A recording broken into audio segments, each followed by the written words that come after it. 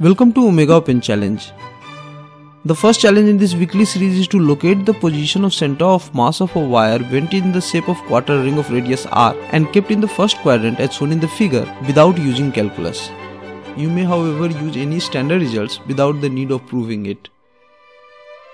To submit the solution, solve the question on a plain white A4 sheet. Write any formula, results or assumptions that you are using very clearly. Underneath, write your name and postal address.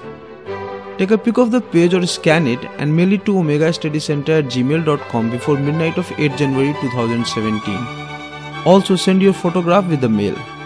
Put challenge number 1 in the subject and in the body of mail write your name, complete postal address and contact number. The first person to submit the solution will be considered the winner of the challenge and will get a special award. The solution will be published on 22nd January 2017. In the solution, we will declare the winner and show the names and photographs of all the participants submitting the correct solution.